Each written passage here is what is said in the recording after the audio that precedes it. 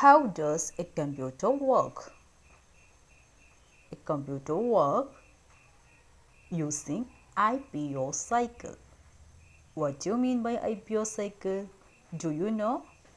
I means input, P means process, O means output. So, what is IPO cycle? Yes, input, process, output cycle. Friends, do you know what is input? Input means the data and the instruction give to the computer using keyboard and mouse. That means what we give to the computer that is called input.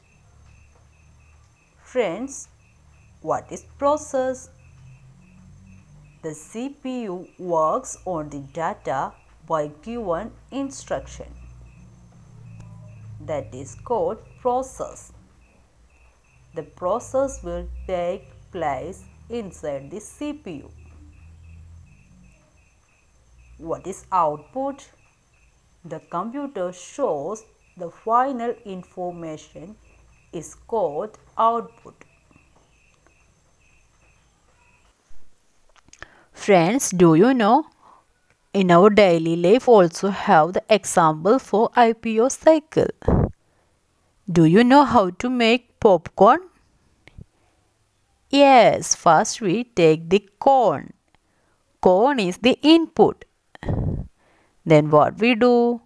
Yes, we put this corn to the machine. The machine will take place the process. After some time what we get? Yes, we got sweet popcorn. It is the output. Okay friends, do you know how to make orange juice? First what we do? First we take the orange. Here orange is the input. Then we squeeze this orange. Here squeezing is the process. After squeezing we got juice.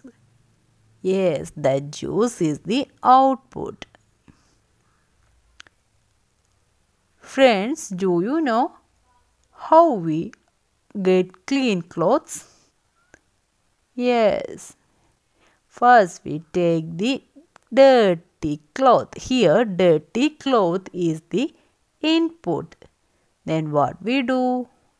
Yes, we put this dirty cloth to, to the washing machine. Yes, the washing is the process here. After washing, we get clean and dry cloth. It is the output here.